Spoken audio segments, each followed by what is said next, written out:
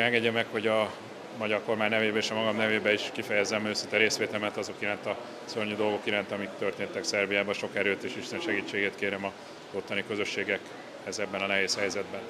És igen, Magyarország számára rendkívül fontos a déli szomszédunk biztonsága és jóléte, és ezért, mint minden déli szomszédunkkal, így Szerbiával is kifejezetten közeli politikai, gazdasági, diplomáciai és katonai kapcsolatok kiépítésére törekedünk.